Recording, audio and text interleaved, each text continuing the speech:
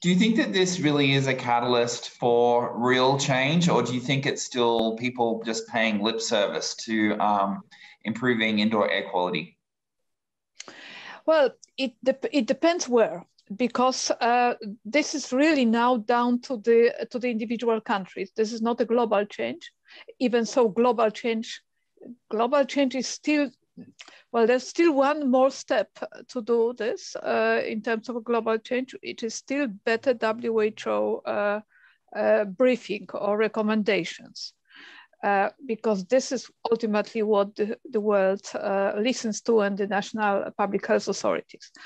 And the current briefing is from the 30th of um, April. And the way it words this, the uh, modes of airborne transmission, the first point, first dot point is that uh, the, the main mode of transmission is um, However, the wording is uh, but short distance or, or, most infections occur over short, short distance, that one meter. Um, it doesn't specify, well, really which mode it is, whether it's inhalation or whether it's, uh, but it's that one meter. And then the second dot point is that the infections can also occur in um, crowded and poorly ventilated places. But then at the end of this dot point, it's still that one meter. So well, okay, they can also occur, but this gives the way out of uh, to public health authorities. If the main mode of transmission is that one meter and since they've already not that much mandated but recommended that physical distance of 1.5 meter like in australia in different countries is different so means that they've already taken taken care of the main mode. Nothing else isn't it just stay stay apart? And then this poorly and crowded ventilated spaces, well, uh, public health authorities can always uh, claim that the majority of our places in Australia are not crowded and poorly ventilated. This is really relative because I'm saying often I'm now at home, but in my office at QUT, which is small office, but still three people can comfortably sit spaced physically and with three people there with mechanical ventilation, this is crowded and poorly ventilated place, judging by the concentration of CO2 meter. So this is, this is still, WHO still should say very, very clearly, and WHO still avoids the wording airborne transmission. Uh, now, the argument could be that um, uh, they have all kinds of other documents. So there's the roadmap, uh, roadmap for ventilation in the context of COVID. There is uh, a, a, document about uh, aged care facilities, a few others. So one may say, okay, there are all these documents. But then if you put yourself uh, in, in the shoes of, mini, of minister or Ministry of Health, they're not going to start reading all the different documents about ventilation. Ventilation is not their business, or um, or uh, aged care facilities, whatever. Question is: Is airborne transmission a health issue or not? And if this is not clearly stated, they, there's a way out of this. Uh, therefore, in Australia, no public health authorities, uh, certainly not federal, clearly stated airborne transmission is a risk which must be uh, mitigated. So, um, so this is still what the WHO needs to do. But regardless of this, in different countries, actions has been taken. It depends what in what it in what countries. So um, they've been recommendations of this nature, that nature, and startups. I'm still planning to sort of get the group together and take stock of what, what happened where. Now, whether these are changes which will stay or changes uh, which I compare to the situation of putting a bucket under a leaking ceiling during a storm instead of fixing the roof, that's the question mark. Um, like, for example, the, um, in the, the, Victorian Department of Education uh, announced, that was a few weeks ago, then announced a package uh, um, uh, of, of measures. Among this is buying whatever number of thousands or ten, tens of thousands of um, air purifiers for the classrooms. Well, uh, all right. Uh, this is putting a bucket under the leaking roof because really ventilation needs to be fixed, fixed and if ventilation with proper filtration when necessary. But if nothing is available, okay, put that air purifier. But in a few years from now, in a year from now, nobody will be using air purifiers for all kinds of reasons. They will just go to junk and will create electronic junk. So, um, so, so this really issue is that whether something will, will change, but for something to change, standard national standards, each country's national standard have to change. If national standards wouldn't change, including, and we are talking about sta standards, building codes, uh, uh, indoor air quality standards, including specifically health in, in building codes and infection transmission, nothing's going to change. This is the reality. Have you seen any countries that have taken some real leadership in, in this area and uh, enacted um, standards that you think are appropriate? I think Germany has, and Germany has started working on this quite uh, uh, quite early in the piece. Already last year, they've they've been they they had serious grants in order to improve ventilation. There was nothing mentioned about air purifiers or anything like this, but improvements in ventilation, and they listed quite a number of different uh, spaces. Now, to what extent it is to improve ventilation, what to what extent it is backed by standards, this is something I, I don't have a full understanding. Because standards normally uh, changing standards is normally a very lengthy process uh, under any circumstances in any country. So it's not like this okay change standards. It's al always a discussion about this committees and so on. So um, so one could say that there wasn't there hasn't been really a time to change the standards. So the and and now we are talking about the uh, the kind of things which happen behind closed doors. For example, I've heard that there are some discussions here within the circles uh, involved with the uh, National Building Council of Australia, but whether these are rumors, whether they are really working on something and something will emerge, it's, it's impossible to tell. So without really going deeply into understanding of what has happened in individual countries, it, it's very difficult at this stage to say what's permanent and what's just putting that, that bucket under a leaking roof. So when I go back to work, hopefully in the next month, um, back into the office building, it's a I don't know 50 story tower in in the central business district of Melbourne. Um, we don't have any windows that open to the outside. Um, we have fortunately a, an air purifier um, in the office, but um, what what can these you know built office environments do to to protect workers? Well, if this is a mechanically ventilated building, and by the description, what you were saying, it is a mechanically ventilated building.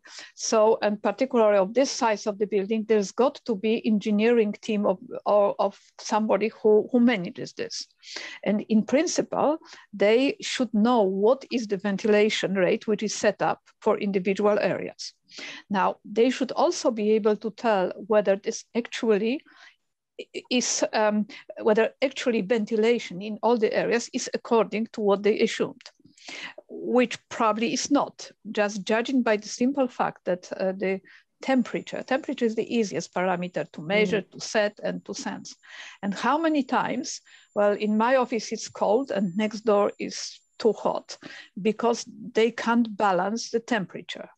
Uh, well, everybody has this experience. So if, if the parameter we can sense um, the, the control, the engineers can't set properly, what confidence it is giving us that the ventilation is working. So in this case, we cannot rely to, to, on what they are setting, what they think is happening. Measurements have to be done. And the simple first measure is on CO2 concentration.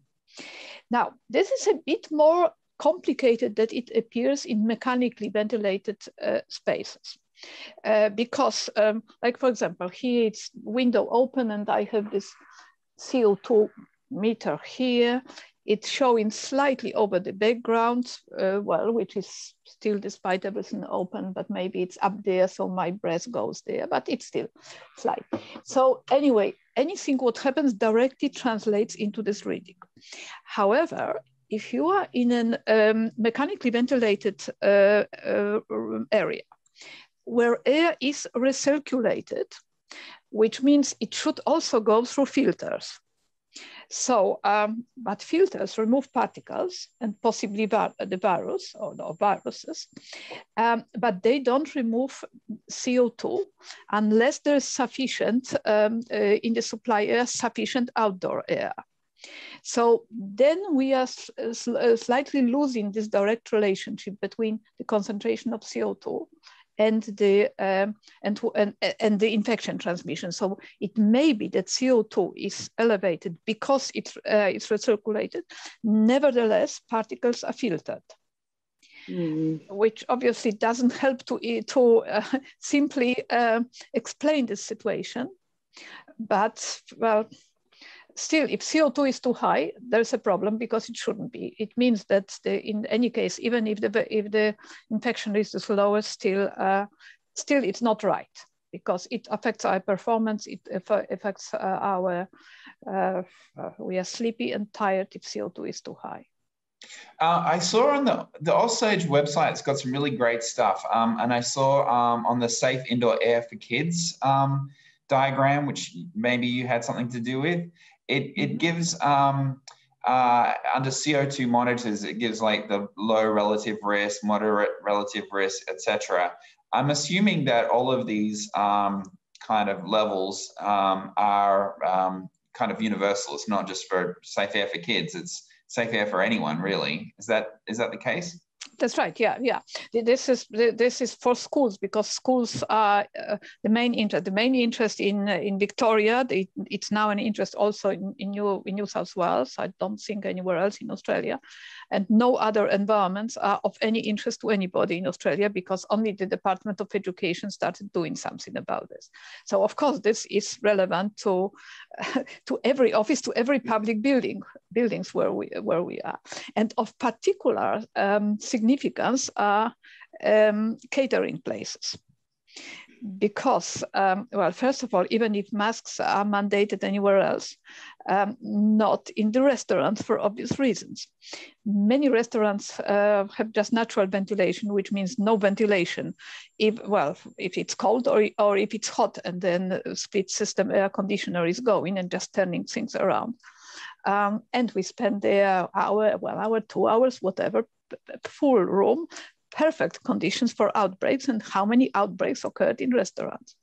So this should certainly be targeted. This even this is even more uh, higher risk than in offices, because in offices we are more more spaced. We are not. It's not usually not as crowded as it is in in the restaurants. So, uh, and usually in mechanically ventilated business uh, uh, buildings, it would be better. Restaurants but, but no one is talking about restaurants whatsoever. I thought they actually were in New York and, and some cities where they were actually looking at, they were measuring CO2 levels and, uh, and are you familiar with anything um, in certain cities where they are starting to take this seriously? Oh yeah, yeah. Instead, I, I'm, I'm, my comment was in relation to Australia, to the situation in Australia, because yeah. I think we are really, really behind the, the, rest of the world. Yes, there are in in uh, in New York there is a website. Uh, I, I, had it somewhere, but I could possibly find it, where people are encouraged to um, well uh, to take CO2 uh, monitor like this, and then put put on this website their readings. Now there was some discussion to what extent this is. Um, uh, it's not it's not about the ethics to what extent this is could be challenged because let's say you put a restaurant and uh, whatever restaurant uh, and the name of the restaurant and high concentrations and let's say that your monitor didn't work properly. So you put bad name to that restaurant so potentially the restaurant can sue you uh, so, so this were that kind of discussion what what to do. But as I understand it, uh, there's a, I've, I've seen a whole map of this.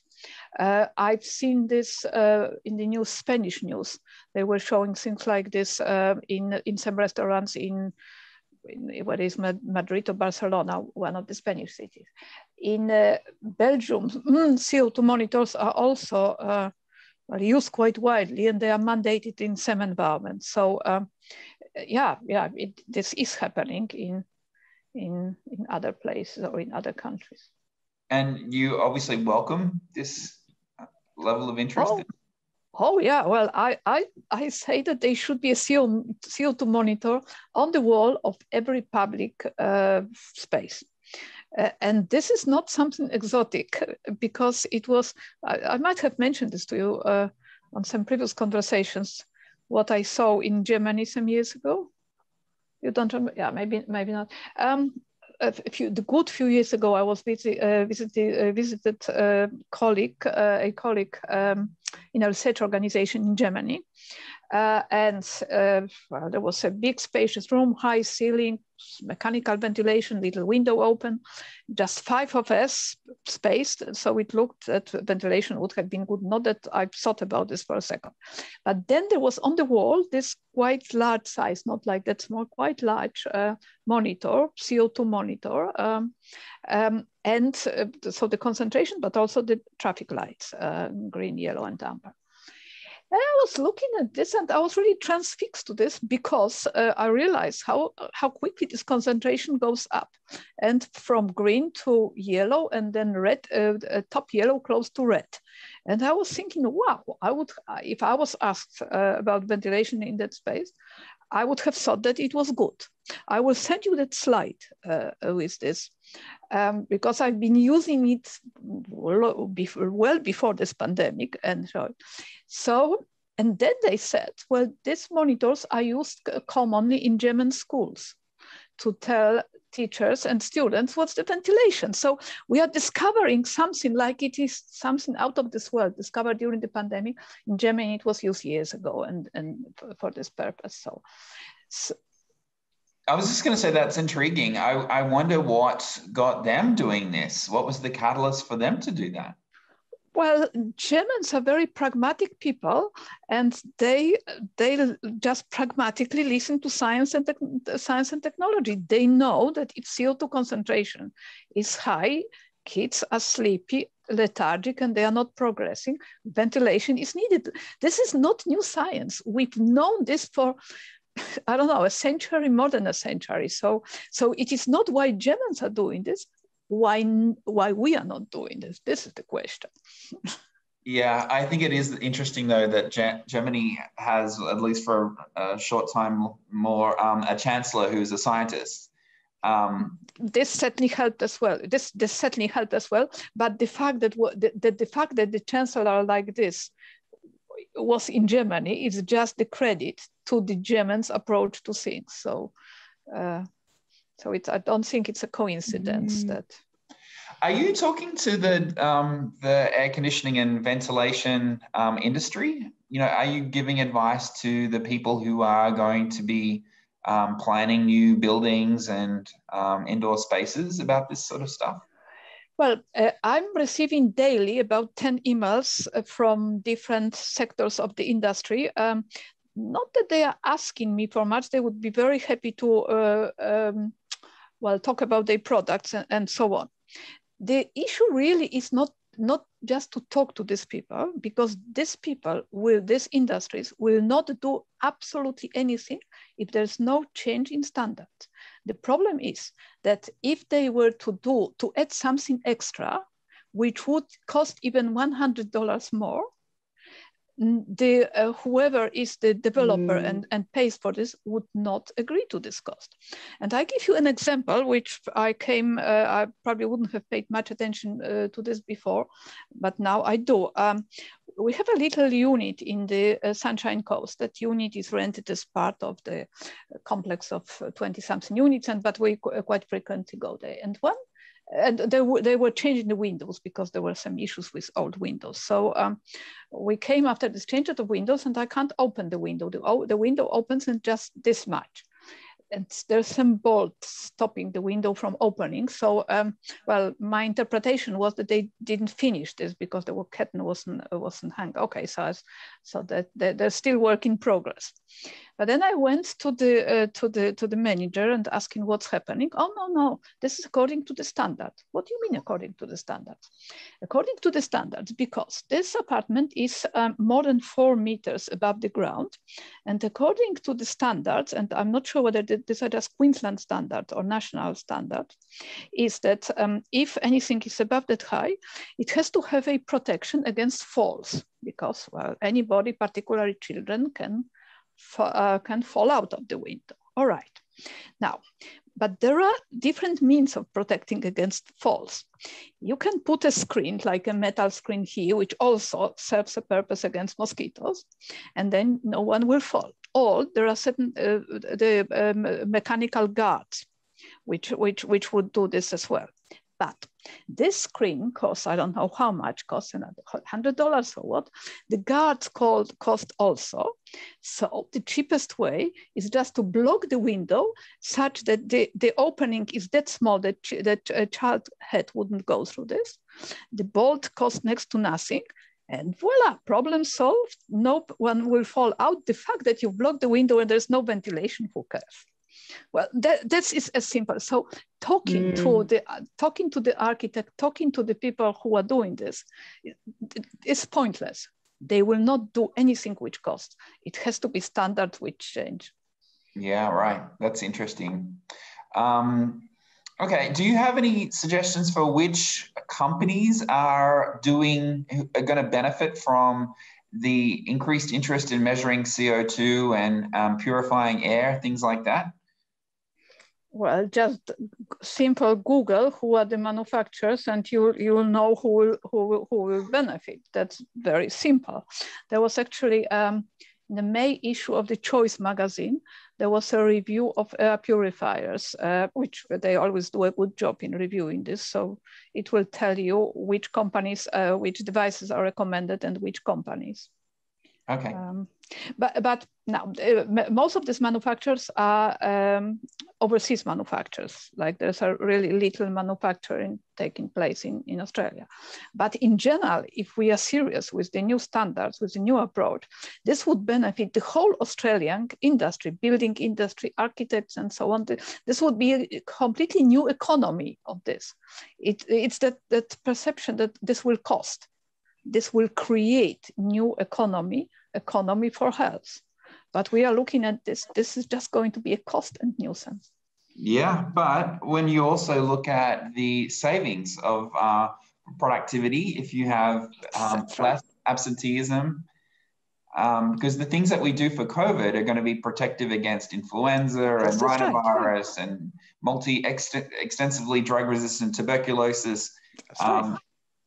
many things. Yeah. Yeah, well, in our science paper, uh, uh, when we were finishing this paper, the editor wanted as much as possible to prove economic proof.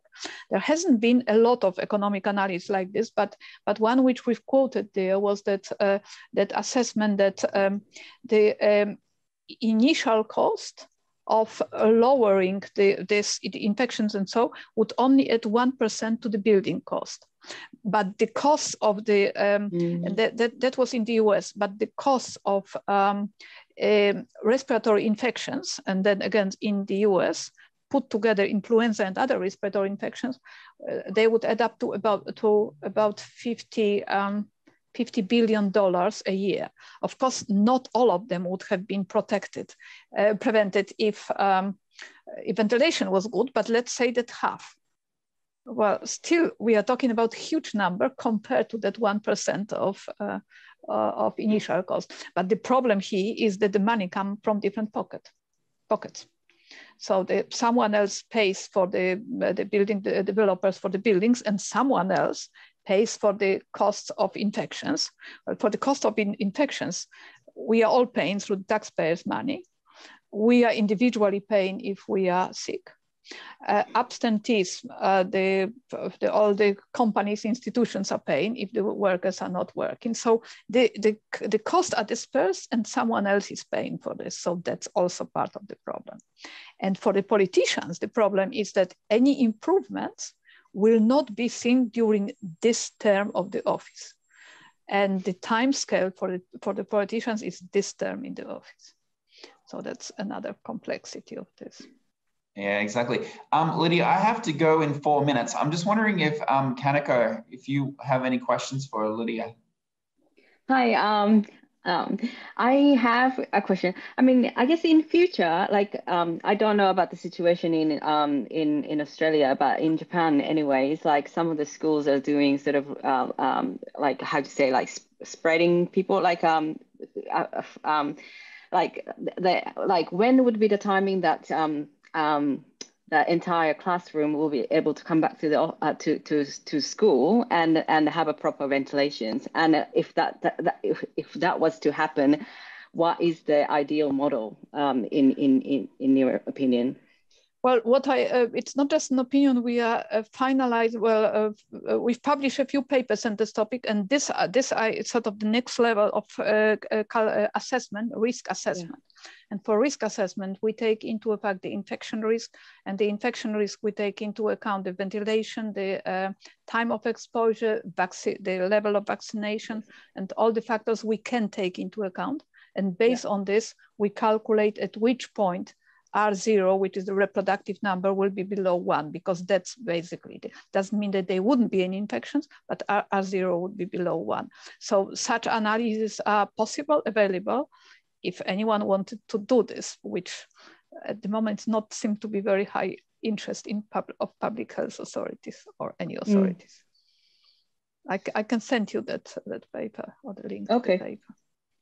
Cool. All right. Well, um, we'll let you go. Thank you so much, Lidia. It was great to see you and congratulations again. Thank you. Good talking right. to you.